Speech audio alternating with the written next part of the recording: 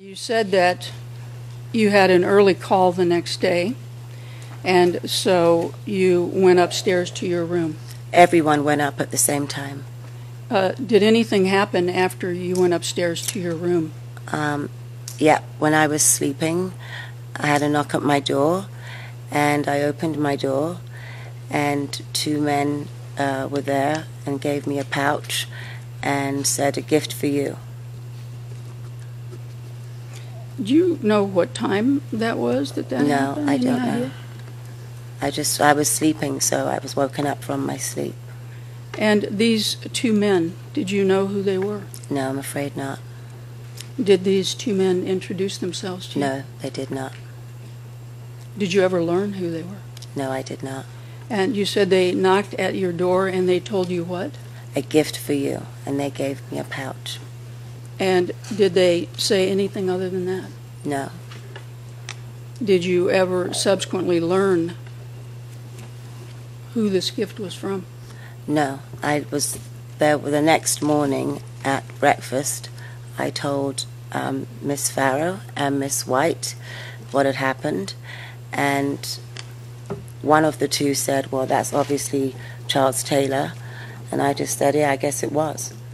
This pouch that they gave you, Mhm. uh, what happened after they gave you the pouch? When they gave me the pouch, I just put it next to my bed and went back to bed.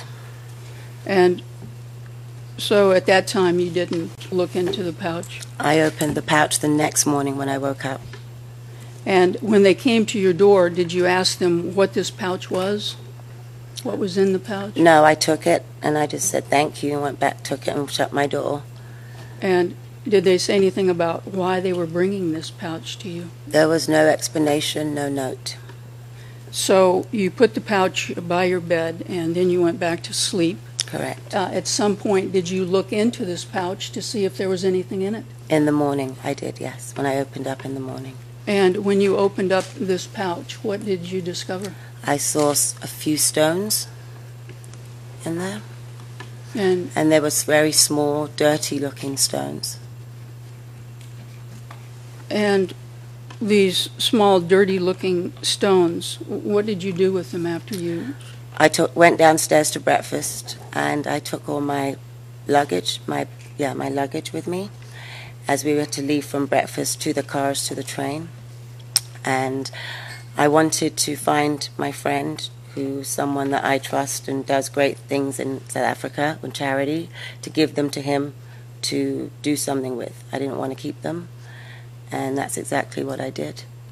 Other than this meeting with Charles Taylor at the dinner, since that time, or even later that night, have you had any other contact No with contact Mr. at all, Charles never Taylor? seen him again since the dinner table. And uh, Ms. Campbell, I, I notice again that you are uh, answering before I Sorry. finish. Uh, are you a bit nervous? No, well, I didn't really want to be here, so I was made to be here. So obviously, I'm just like wanting to get this over with and get on with my life. This is a big inconvenience for me And you said you didn't want to be here. Why did you not want to be here? because here? I really don't want anything to do with this, and I care about the protection of my family. And as I said on television before, I didn't want to be, have anything to do with this And why would you be concerned about the protection of your family? Because this is someone that I read up on the internet that's killed thousands of people supposedly, and I don't want my family in any danger in any way. Question number one. On that night, mm-hmm. neither of the men told you that these diamonds came from Charles Taylor. Is that right? Correct. Furthermore, the next morning at breakfast, you did not tell either Mia Farrow or Carole White that the men said the diamonds came from Charles Taylor, did you? No, I did not. The suggestion about Charles Taylor came from one of them. Yes. And so consequently, it is pure speculation that these diamonds came from Charles Taylor. That's correct, isn't it? We, I just assumed that mm, they but, were. but it's pure speculation, isn't it? I don't. I just. I don't know. I just assumed that they were. That's not where I sat. I sat next to Mr. Mandela. Hmm. But hold on, Miss Campbell. It gets even better than that. Because later on in the statement, Miss White says this The witness, that's Carole White, said that throughout the dinner, Miss Campbell and Mr. Taylor were mildly flirtatious with each other. The witness heard Mr. Taylor tell Miss Campbell that he was going to send her diamonds. Taylor and his people were staying some distance away, so it was arranged that he would send some men back with the gift. Is that true or false? That's not true at all. It's a lie, isn't it? Mike, I was sat next to Mr. Mandela, Mm. and the conversations, if there was a conversation about diamonds, it wasn't to me. Um, we spoke about what I was doing for the Children's Fund. I remember Mr. Mandela explained to Mr. Taylor what I did for the Children's Fund. Because this morning you've already told us that you did not specifically speak to Charles Taylor that evening, did I you? spoke in general. Um, I was interested about Liberia. I never heard of it before. Mm. And um, he said he was the president of Liberia.